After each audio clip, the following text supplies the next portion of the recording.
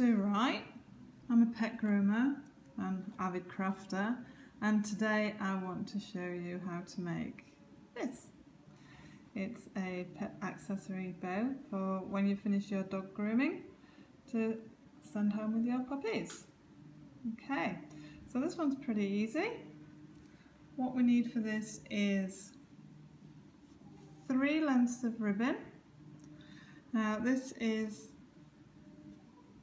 an inch and a, inch and a half wide ribbon. It's four inches long and you'll need three lengths of that. You'll also need three lengths of a narrow ribbon. Oh, this is only a centimetre wide, 10 mil wide and approximately three inches long. You don't have to be spot on with these, obviously, you can just play around with them, find out what length works for you. Um, and then you need a length of ribbon to tie around the dog's neck. This is only about six, seven mil wide. It's very fine. I always tell my owners not to leave the dogs on them. Don't leave it unattended.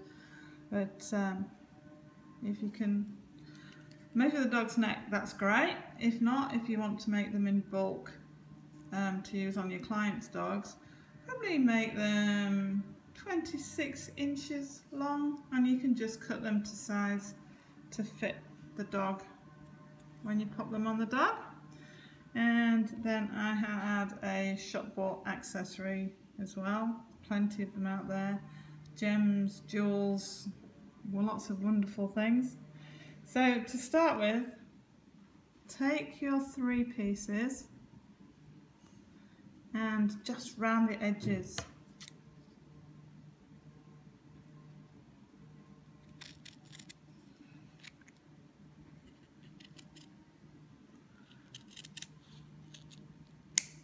Not too fussy about this, it's, it's quite tricky.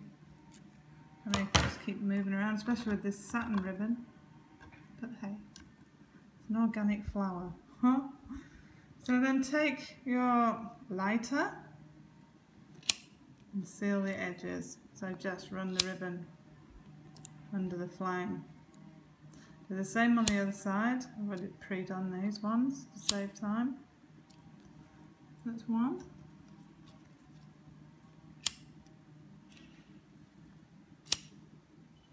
So just very quickly don't leave it in there too long. Do you want to set fire to anything?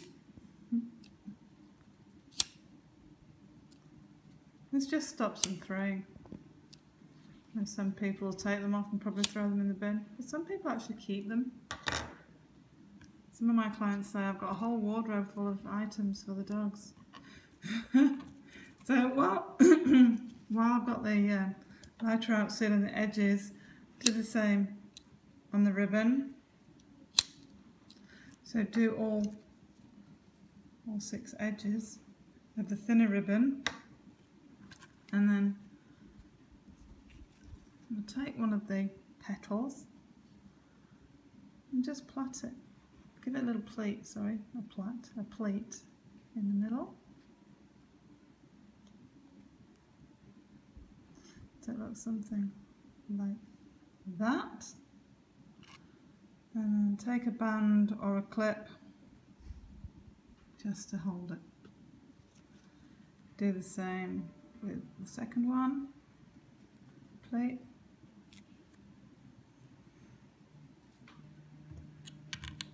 These, these are just little children's hair slides.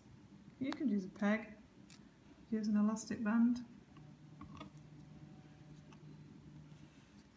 And then the same with the third one.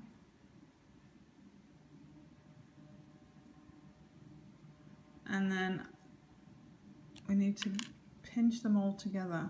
So sit them on top of each other.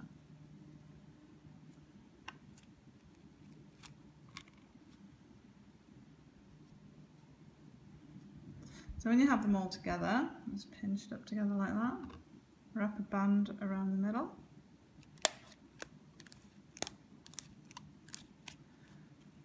That's just one of those um, children's loom bands, the bands that they use for making the bracelets with.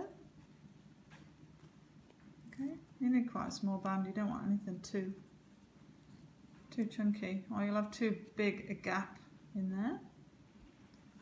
So that's what it looks like at this stage. And then I like to take the tie.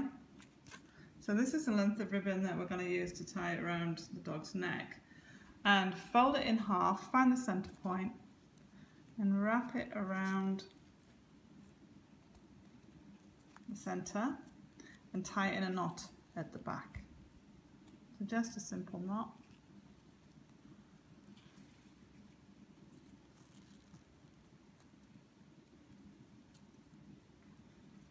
Okay, and that's why you need quite a thin one. You can tie it with a piece of string.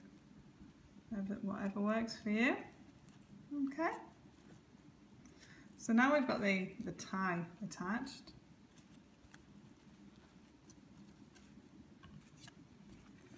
And then we take these thinner lengths and fold them in half. Find the centre point, fold it in half. I'm using the hot glue, but I use the cool melt because the hot glue really hurts if you get it on your skin. So find the centre point, fold it in half, teeny tiny dab. You do that to all three, so one's come undone.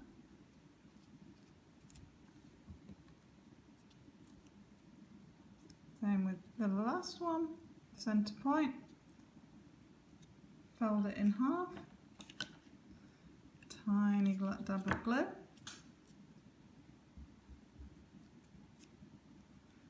Again, and I can't stress this enough, use cool melt because the low melt glue because the hot melt really hurts.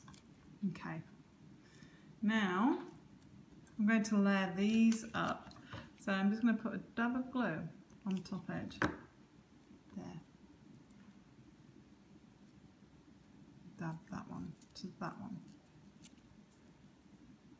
You see? Oops. And the same with the last one. Dab of glue. There it.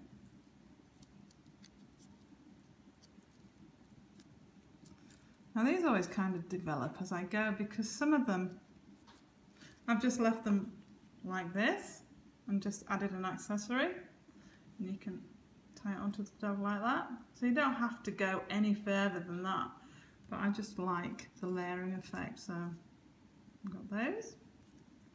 I've got whichever way. So blob of glue on the back.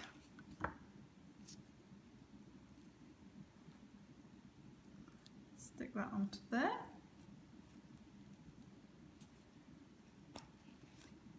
Okay. And then the accessory I'm going to stick on top. So a blob of hot glue, low melt glue. Okay, that's it. That's so easy. And that's all there is to it. Here we go. And here again is what it looks like on my model. There you go. If you want to um, add it, just use it as an embellishment. If you watched my last video, you would have seen how I made the bows.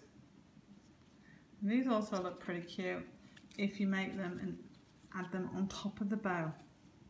So obviously without the tie, just glue them on top and you get a really pretty layered up look which is quite nice as well so really it's just all down to your imagination.